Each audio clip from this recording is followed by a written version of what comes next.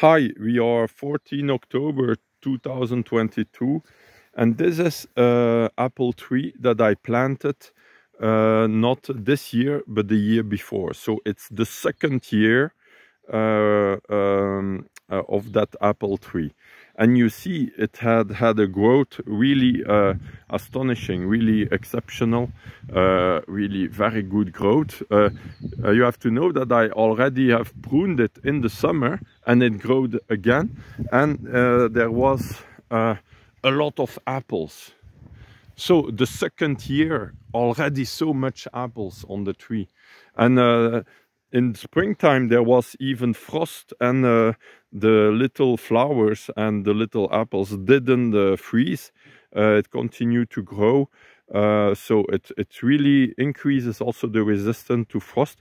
There was a drought this summer that was very very severe and uh, it's it uh, hold their apples. It's grown very well. And there is also an antenna electroculture antenna atmospheric antenna like a lighting rod uh, uh, you can see.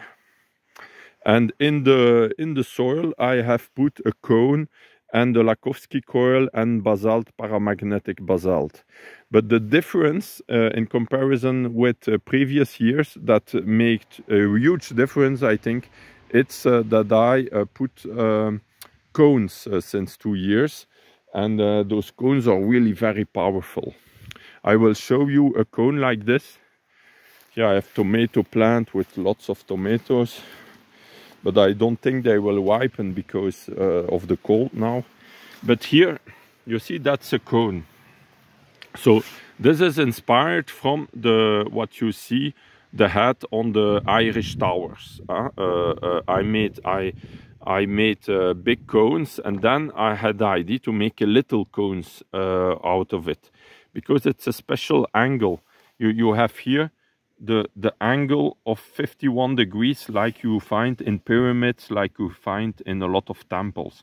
And and uh, the material of paramagnetic rock uh, basalt uh, made an antenna with the earth magnetic field and the Schumann resonance and the is the earth energy and then the angle make an antenna with the cosmic energy with the high frequencies with the cosmic energy because that angle is directed to the cosmos.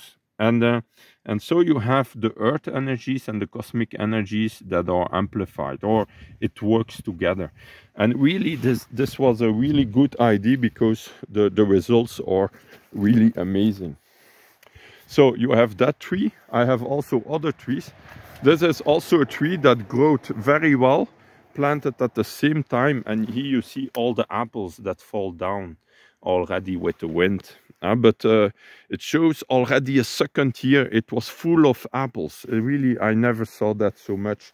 A second year, it's really fantastic. And a very difficult year because of the drought and so on. Here the same, also very good growth. But those two grew a little bit less because um, there was no atmospheric antenna. But with the atmospheric antenna and the cone, you have fantastic results, but you cannot put an atmospheric antenna at each tree. So uh, you, if you, but a cone is very easy to put. If the plant, if the tree is already planted, you can just put the cone uh, close to it or dig it in the earth close to it and so you don't have to think about anymore but it will work too if it's uh, very close uh, I saw that on different plants. Uh, last year I had a tobacco plant of more than three meters high with a cone like this. So it's very very powerful.